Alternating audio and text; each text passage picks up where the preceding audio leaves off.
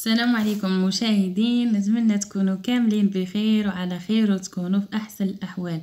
اليوم إن شاء الله غنشارك معكم هذه الكيكة البسيطة الكيك اليومي ديال نعيمة البجعديه آه إن شاء الله نوريكم آه كيفاش تجي هذه الزخرفة هذه نبداو بسم الله على بركة الله. عندي المقادير اللي هي مضبوطة وأي بنوتة ممكن تستعمل هذه المقادير وتنجح معها إن شاء الله. عندي آه، فايت شوية ديال آه، نص كاس تاع الزيت وعندي كاس تاع السكر سنيدة آه، يعني ناقص منه صبع إلا حطيتي الصبع غيجي ناقص. وعندي الدانون تاع الحامض أو ال citron. وعندي هنا حامضة مبشورة قشور الحامض مبشور. وعندي الخمارات كيف كتشوفوا معايا ثلاثة كل وحدة فيها 8 غرام. راهم كاملين غير أنا فتحتهم باش نسهل عليا. عندي هنا جوج معالق تاع الشوكولا أو الشوكولات المر. ممكن تستعملوا أي شوكولاته غبره عندكم. عندي قبصة تاع الملح والدقيق بطبيعة الحال على حسب الخليط. أنا هنا عندي ثلاثة ديال البيض. إلا كان البيض صغير شوية ديروا ربعة. غادي نخلط إن شاء الله الملحه والبيض. نزيد عليهم قشور الحامض. أو قشور الليمون. وعندي هنايا كاس معامرش مزيان تاع السكر سنيدة. غادي نخلط إن شاء الله هاد المسائل كاملة. نخلطهم حتى يطلقوا شوية مع بعضهم. ممكن تخدموا بطراب كهربائي. أنا كنخدم دائما غير بيدي.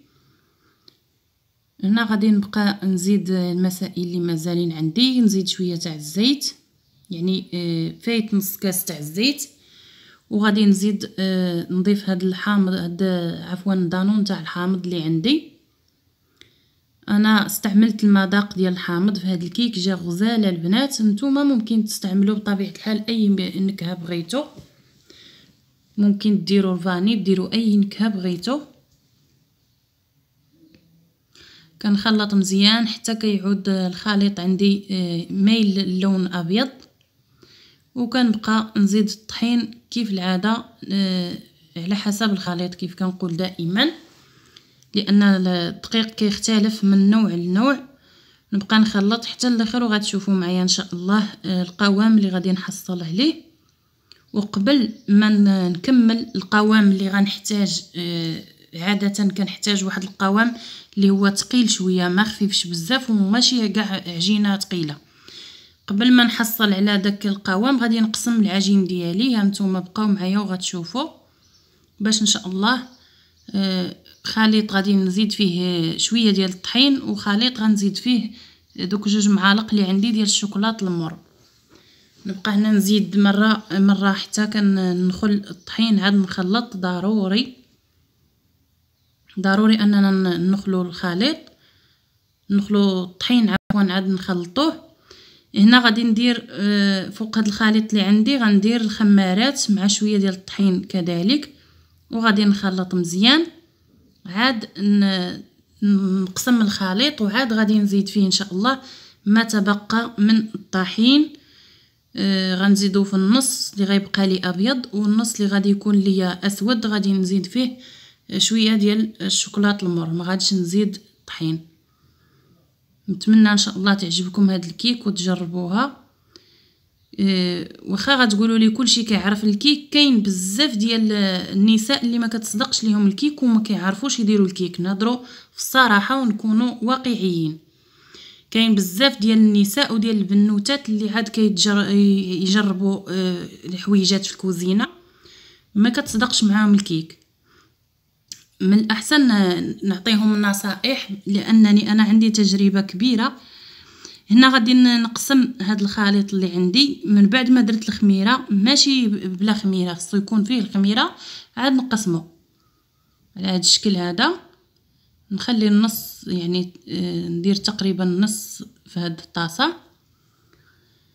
بالنسبة للنصائح اللي غنتبعوا معايا هما اللي غادي ينفعوكم البنات في في الكيك انها تنجح لكم سواء النصائح على الفران أو النصائح على الخليط أو على بزاف ديال الحاجات. هنا غادي نوريكم الزخرفه اللي كتجي غزالة تبارك الله. نتمنى تجربوها وتغيروا شوية يعني ما نبقاوش غير الكيك المعتمد عندنا. كل مرة نديروا زواقه باش نكونوا مغيرين شوية الطبيلة ديالنا وحتى الوليدات يفرحوا وياكلوا شي حاجة اللي مغايرة. شكلا ومذاقا. اليوم إن شاء الله نديرها بالحامض غير جربوها البنات راه كتجي زوينة. هنا كيف كتشوفوا غادي نزيد هنايا هاد جوج المعالق اللي عندي ديال الشوكولا أو الشوكولاط المر. غنخدمهم مزيان. وبطبيعة الحال الطحين الأبيض كنزيدو فيه الخليط الأبيض كنزيدو فيه الطحين اللي يعني القياس اللي غادي يحتاج كذلك. ضروري نخدمو آه، الأبيض هو الأول باش ما نوسخوش الطراب ديالنا وعاد نمشيو للون الأكحل أو الأسود. نتمنى تفهموني كاملين البنات راه تبارك الله متبعيني من جميع آه، البلدان. الناس مرحبا بهم عندي. هنايا آه، أنا ما عنديش المول بحال تاع المغرب اللي كناخذو أو مهم حتى هنا كاينين غير أنا ما عنديش. عندي غير داك المول المسطح العادي. غادي ندير هنا واحد المقلة اللي حيدت لها اليد ديالها باش ما تسخنش في الفران وما تضيعش ليا. حتى من بعد غنرجعها ليها. دهنتها بالزبدة وحطيت عليها آه، الكاغط تاع الفران أو آه، ورق الزبده ممكن ما غاديش تلصق بلا ما ديروه ماشي مشكل أنا غير درتو وحطيت ديك الطويصة في الوسط باش أنا غنحصل على هاد الزخرفة. لأن آه، الا كان المول عادي ما غاديش يعطيني هاد الزخرفة هادي. أنا كيف كتشوفوا غنبقى ندير يعني على شكل نقطة هي كبيرة ولكن نقطة كبيرة غنديرها بيضة والأخرى حداها سوداء والأخرى بيضاء وغنبقى غادة ونختلف هاد الألوان آه، حتى نستمر بهم حتى نكملهم. وغادي نرجع آه، نوريكم الزواقة من بعد هاد اللقطة هادي. على هاد الشكل هذا كيف كتشوفوا البنات. كان خالف شوية الألوان. نتوما ممكن ديروا ربعه المرات أو خمسة ولا اللي جاتكم.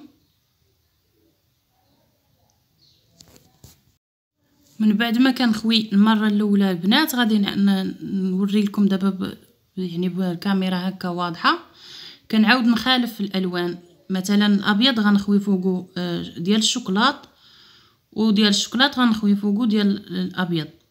هي الطريقة كتبان عشوائية وسهلة لكن الزواقة كتجي غزالة في الأخير وكتجي يعني يقدر العقل يحير فيها يقول كيفاش حتى تصايبت هاد الكيك هادي. بهاد الطريقة هادي نتمنى تلاحظوا معايا الخليط كيفاش كيكون. ما تقيلش بزاف وما جاريش بزاف. إلا كان ثقيل بزاف البنات كتجينا العجينة ديال الكيك ثقيله وكذلك الكيك كيجي قاصح وثقيل وإلا كانت العجينة جارية أو خفيفة كيجينا الكيك آه، كيطلع مزيان. متفقة معكم وكيجي آه، يعني هو هذاك عاطي العين لكن غير كطفي عليه الفران وكيرجع يهبط وكيجي مصمط نتمنى إن شاء الله كلكم راه مجربين ودايزة عليكم هذه القضية غتفهموني علاش كنهضر. فاللي كتجيها الكيك دائما كتطلع وكترجع تفش أو كترجع تهبط ليها. راكي يا أختي ما كتكثريش الطحين خصك تزيدي شوية على داك القياس اللي مولفات ديري تاع الطحين. واللي كتجيها ملكزة غنقول لكم بهذا المفهوم هذا تجي ملكزة وثقيله وما كتجيش كاع مفشفشة هذيك راه كتكثري فيها الطحين آه، يعني خاص الطحين يكون لا القياس. هذا علاش أنا ما كنعطيش آه، واحد القياس محدد لأن الطحين ما كيكونش بحال بحال. كاين الطحين اللي كيشرب وكاين الطحين اللي ما كيشربش. كيف كتشوفوا بقيت كنخالف الألوان هكا بالنقيطات ديال الألوان اللي عندي. غادي نمسح هاد النقيطات اللي طاحوا في الزلافة ماشي مشكل. هاد الزلافة راها قابلة باش تدخل للفرن. يعني نتوما ديروا شي حاجة اللي اللي, ما اللي تقدر تحمل الحرارة ديال الفرن. بالنسبة للناس اللي بحالي بغاو يديروا هاد الطريقة أما اللي عندهم المول آه، متقوب من الوسط عادي فكان أسهل.